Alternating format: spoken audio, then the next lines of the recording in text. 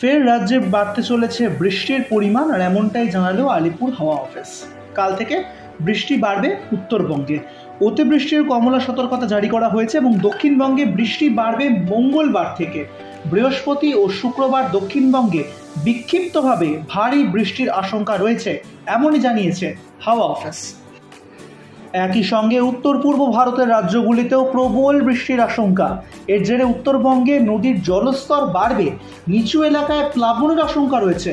শস্যের ক্ষতি হওয়ার সম্ভাবনা রয়েছে। পার্বত্য এলাকায় ধস নামতে পারে বলে জানা যাচ্ছে।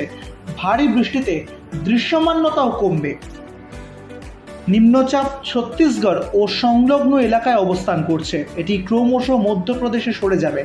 মৌসুমী অক্ষরেখা, গঙ্গানগর, নারাউল, গোয়ালিয়র থেকে মধ্যপ্রদেশের নিম্নচাপ এলাকা হয়ে রায়পুর, আঙ্গুল, এরপর পূর্ব মধ্য বঙ্গোপসাগর এলাকা পর্যন্ত বিস্তৃত রয়েছে। মৌসুমী অক্ষরেখাও রয়েছে একই সঙ্গে। এই অক্ষরেখা সোমবার থেকে উত্তরের দিকে সরবে বলে জানা গিয়েছে। উত্তরবঙ্গে আজ থেকেই ভারী বৃষ্টির সম্ভাবনা তেমনভাবে না থাকলেও আগামীকাল থেকে বৃষ্টির পরিমাণ বাড়বে এবং একই সঙ্গে একুশ থেকে ছাব্বিশে আগস্ট পর্যন্ত ভারী বৃষ্টির আরও একটি স্পেল চলবে, এমনই জানাচ্ছে হাওয়া অফিস।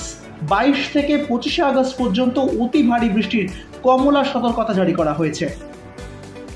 তাদেরকে আরেকবার জানিয়ে রাখি, সোমবার বিক্ষিপ্তভাবে দু এক জায়গায় বৃষ্টির পরিমাণ বাড়বে এবং একই সঙ্গে ভারী বৃষ্টির সম্ভাবনাও থাকবে। এবং একই সঙ্গে ওপরের দিকে জেলাগুলিতে দার্জিলিং, কালিম্পং, আলিপুরদুয়ার, কোচবিহার, জলপাইগুড়ি জেলায়, অর্থাৎ উত্তরবঙ্গে বিক্ষিপ্তভাবে বৃষ্টি এবং তার সঙ্গে ভারী বৃষ্টির সম্ভাবনা রয়েছে। মঙ্গলবার বাইশে আগস্ট বৃষ্টি আরও বাড়বে উত্তরবঙ্গে। দার্জিলিং, কালিম্পং, আলিপুরদুয়ার, কোচবিহার, জলপাইগুড়ি জেলার বেশিরভাগ এলাকায় ভারী বৃষ্টির আশঙ্কা রয়েছে। অর্থাৎ দক্ষিণবঙ্গের তুলনায় উত্তরবঙ্গে বৃষ্টির পরিমাণ বেশি হবে বলে জানাচ্ছে হাওয়া অফিস। বুধবার তেইশে আগস্ট অতি ভারী বৃষ্টির কমলা সতর্কতা জারি করা হয়েছে দার্জিলিং, কালিম্পং, আলিপুরদুয়ার, কোচবিহার এবং জলপাইগুড়ি জেলায়।